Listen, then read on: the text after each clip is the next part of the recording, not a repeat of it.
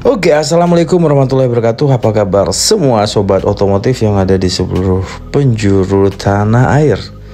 Kali ini kita kedatangan motor listrik Uwinfly T5 VSPA dengan desain yang sangat keren, yaitu klasik dan retro ya, mirip Vespa ini bro. Itu dia tampilan bagian depan agak melengkung ya, ada garis-garis yang kelihatan retro di sini. Nah, desainnya unik dan pastinya keren ini bro. Nah seperti ini bagian speedometernya. Di sebelah kanan panelnya di sini ada seperti biasa bagian lampu kemudian ada auto cruise control sama pengaturan speed juga.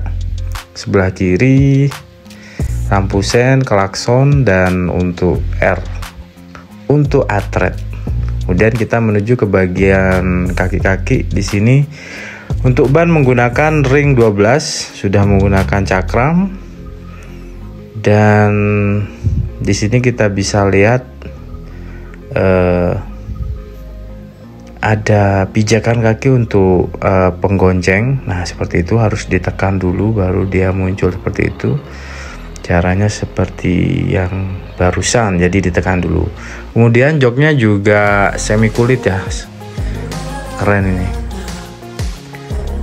bodinya hampir mirip seperti Vespa ini keluaran yang terbaru armnya juga lebih keren dan uh, bukan jadi besi ini ya untuk armnya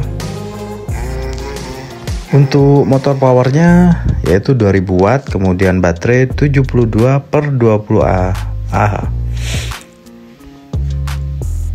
kemudian untuk jarak tempuh yaitu 65 km ini dia bagian bagasinya. Di sini dapat uh, charger. Seperti biasa. Oke kita tutup dulu. Sangat menarik ya untuk bodinya ini. Kemudian pada belakang juga sudah menggunakan disc brake double disc brake system berarti ya. Kemudian untuk untuk ban semua tubeless ya. Jarak tempuh eh, 65 km kemudian kecepatan 75 km per jam dibekali dengan auto 3 speed dan beban maksimal 200 kg oke itu tadi reviewnya. Mudah-mudahan bermanfaat. Jangan lupa komen like dan subscribe. Wassalam